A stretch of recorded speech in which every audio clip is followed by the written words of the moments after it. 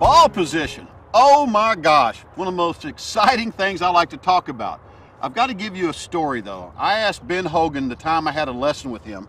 I said, Mr. Hogan, how much do you move the ball in your stance? And he says, I move it an inch and a half from my wedge to my driver. And I said, That's it? You don't start at the back and move forward? And he goes, No. So it's kind of one of those times where I went an inch and a half. I wonder why he just moves it an inch and a half. So is it like a quarter of an inch per club or something? And then it hit me. The tees back then were an inch and a half tall. So when he teed up that driver, since it was an inch and a half off the ground, he had to move it an inch and a half ahead. What was he telling me? He hit every shot from the same position. That means that was the bottom of his swing. And we all need to find the bottom of our swing. And that's where our ball position needs to be. We're all built differently.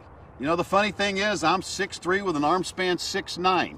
You might be 5 feet 11, which is my good friend Mike Dunaway, and he has an arm span of 5'5. His ball position is a little more forward than mine because it's how we're built, the uniqueness. And that's what we got to address here. So I want to start with you on a myth of something. People are watching this on TV. Let me give you an example. You see these players hit a wedge. They set up to hit the ball.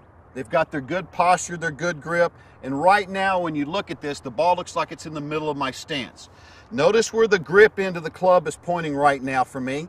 It's pointing just left of my belt buckle. Okay, now when I go to a longer club, it looks like the ball position is moved forward. It's not. I want to show you this.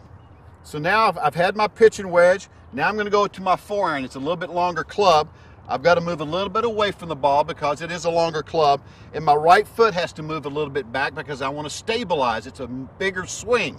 Now, that ball looks like it's been moved forward in my stance. But if you'll notice, where's the grip end pointing again? Just left of my belt buckle. So the ball needs to be in the same position for every shot.